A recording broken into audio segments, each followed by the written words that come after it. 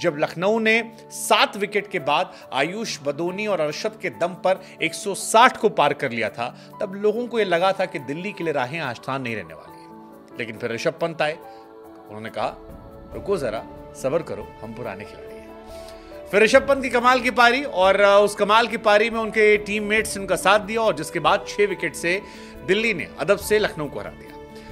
दिल्ली की इस जीत से दिल्ली कैपिटल जो है उसके प्लेऑफ में पहुँचने की उम्मीदें अभी कायम हैं। हालाँकि इस जीत से झटका जो है वो आरसीबी के फैंस को लगा होगा, क्योंकि आरसीबी अब पॉइंट्स टेबल में दसवें नंबर पर चली गई है। आरसीबी के फैंस दुखी हैं, खामोश हैं, शांत हैं, और उनका होना बनता भी है, क्योंकि किसी ने सोचा नहीं था कि जब मिड ऑफ़ आईपीएल में हम पहुँच रहे होंगे तो आरसीबी दसवें नंबर की टीम बनकर बॉटम टेबल पर बैठी होगी।